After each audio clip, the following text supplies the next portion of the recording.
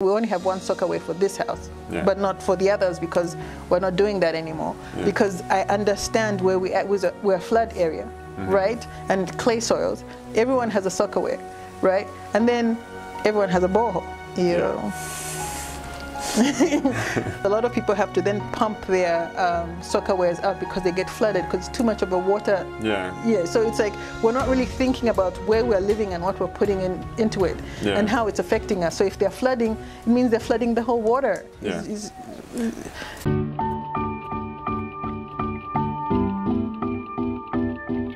so, yeah, so now here our domes are biodigester because under here is like a 17 cubic meter Okay. and 14 cubic meter, and then we have the portable one over there. Mm-hmm. So this the, the whole the soil here is all excavated, Yeah.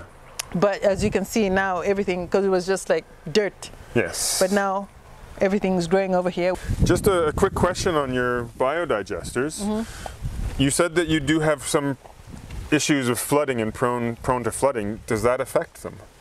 Uh, no, not that I'm a no, Not that you've experienced not so that far. I've experienced so far. Because okay. I mean the way they built them and they plastered them and all that Yeah. stuff, so it's like a little hut down there. Yeah. Okay. So no, not that we've experienced. So we And- load it from here. Mm -hmm. Mm -hmm. when you initially built them, was there anything that you would change now, having gone through the last several months and things like that, in terms of their positioning in relation to the house? Just coming back to that idea of planning. Yeah, yeah. You know, had if I do it differently, I'd plan everything so it's all connected and things could be under the ground. Because now it's just on top. We're just making do with what we have. Yes. Right. But if we had known how to connect it better, like the toilet, well, we have the portable one because the toilets to our little house go to that. Yeah. Right. But this one is purely animal manure. Just you know, mm. we're growing food, so it would depend where we're putting the slurry on the fruit trees or Yeah. on the fresh food. But then at the end of the, by the time it comes out of the slurry, it's all processed. Yeah. But you know, sometimes mm, Okay. it gives you that separation. And that's our little portable one. Well, it's not that little, but uh, it's a portable one. It's, it's essentially a vessel that digests the manure or you know human excrement. Mm-hmm. So when you put in your manure, human or whatever, mm-hmm. it's processed, and that gas comes out. That Oh, from the, Yeah. the line there, yeah. gas comes out that we use to cook, mm-hmm. and the bio the air the, the extra Effluent, yeah. effluent it is a processed um fertilizer that we then put in the garden, but there's no smell to it. Yeah. So it's you know even if you had pigs fully and broken down it's fully broken stage. down. I think it should be a law. If you have pigs, you have a biodigester because it will just kill that smell. Otherwise, you just Mm. Yeah. yeah. But It's overpowering. it's overpowering. So that's basically what a biodigester is. So you can definitely take care of your bathrooms, Mm-hmm. right? So if you don't want to dig about uh, uh, a a uh, like what you put in here. yeah, you can have this, portable kind of. and you don't need a soakaway. So if you want to protect your water source, because Yeah. sometimes you only have a little spot in your in your yard. So if you're digging a borehole and you're digging a, a Yeah. right? It, it will help you to pay the extra and have this, and then you can get gas from it too, Yes. as opposed to um, polluting your water source. And then, and what kind of volumes of gas are we talking about? If, if one has a, a regular supply into it, Mm-hmm. are you, you, you? I would assume you'd have enough gas then f to meet Oh, household yeah. needs, Household needs, yes. and then some, or And then some if you have the cow on site and you just load it, because it's just a Oh, matter okay. of how much you're loading, right? Yeah. And then some you'd have to be, I'd have to be making too many trips to okay, yeah, yeah, the chicken place. But if it's right there and every day you have manure to feed it, Yeah. we'll have more than enough. So this actually also sounds like if one had a processing side to the uh, to the um, to the property as well, you'd actually be saving on inputs for well, uh, say electricity or, or charcoal if one was doing that. If you're then producing your own gas, that you could then be cooking and Yeah, like if- if um, we're like processing. making jams or things like that, and we constantly needed uh, Mm-hmm. power or to cook, yeah right? We just have gas to cook, so we're from, saving from money. our own waste. yeah, from our own waste, right? Because uh, that- literally we're flushing away dollars. Yes. Literally, right? But worse, we're flushing it away with clean water, clean drinkable water. really? yeah, that's not very smart there.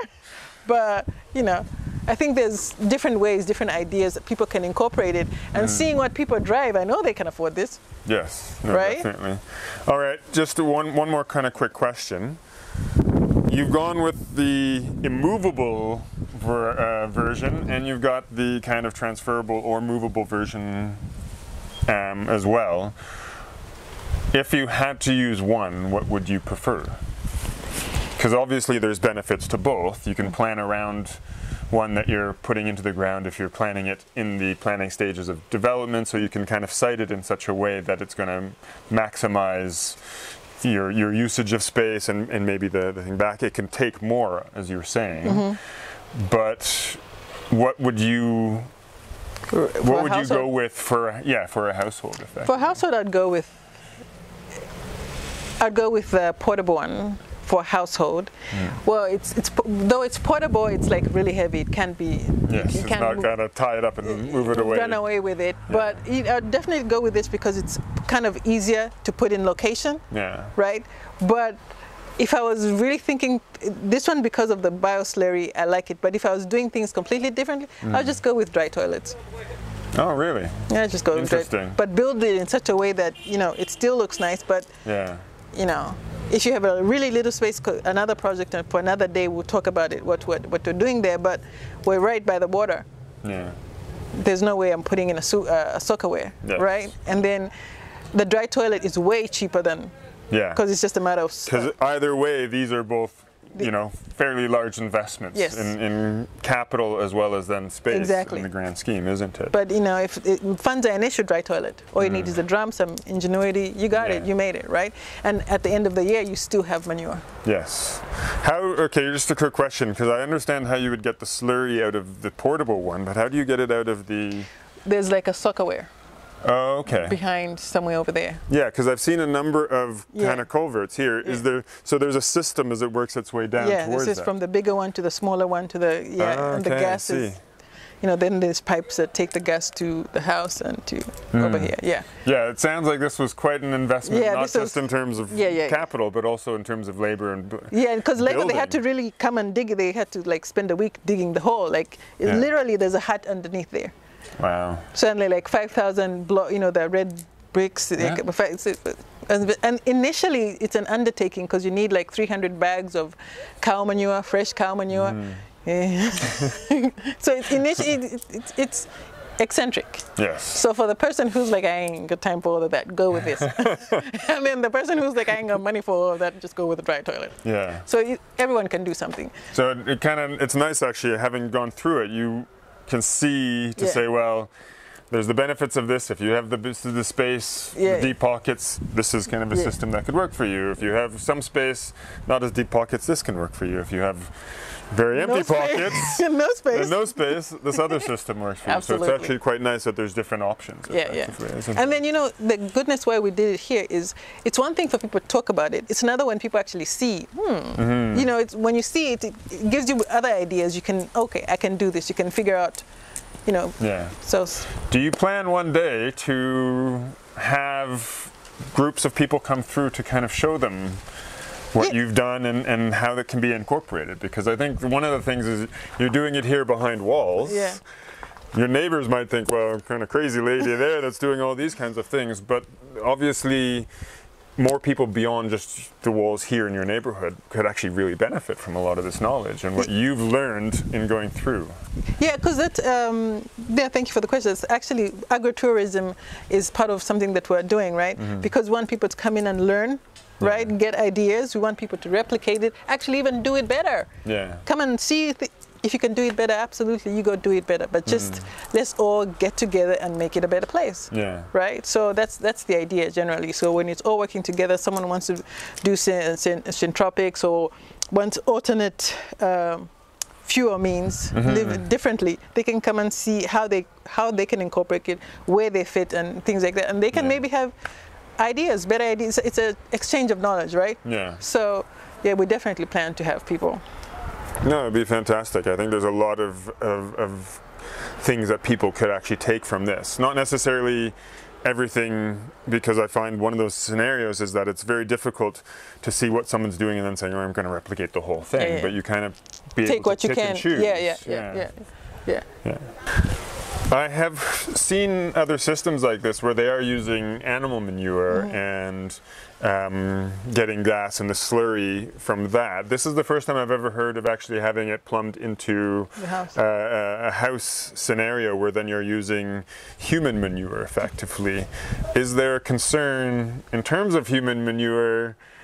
Potentially if you're then taking those um, byproducts and incorporating them back into the vegetable garden of a contamination of bacteria or things that would affect us making their way into the garden and then maybe making us sick Well, by the time it comes out, it's fully processed. To start it, we put in like, uh, in this one, we put like 300 uh, um, bags of fresh cow manure specifically because it has the enzymes that actually eat up all the bad stuff, right? yeah. So you kind of basically make a stomach, yeah but a stomach for the manure so that when it comes out, it's processed and then it's broken down and it can go back in as uh, nutrients. yeah So it breaks down the nutrients basically. i think the one thing that a lot of people won't quite understand as well is that they're anaerobic Yes. it's not happening in the presence of oxygen Yeah, yeah. so there's a lot of bacteria that we would have that would not survive, Survive. in that um, and it's hotter than what our our body temperature would be so effectively they're being broken down by enzymes as you say they're being broken down in the absence of, of oxygen and with heat With heat, yeah. um, and in a normal composting process, be it a, a compost pile, heat is one of the big things that kills, That kills the- weed yeah. seeds and bad bacteria and fungi because they have a very specific range. Mm-hmm. Um, and this kind of condenses that time frame drastically, Yeah. um, which our home composters don't do as, as nearly as efficiently.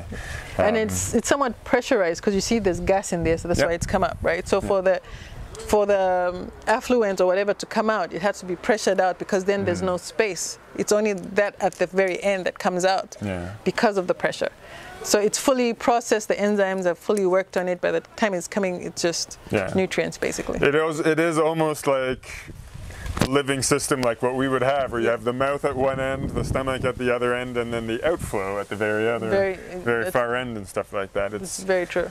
it's very interesting kinds of systems, and uh, and I think yeah, I think it would be fantastic if more people adopted them, Yeah.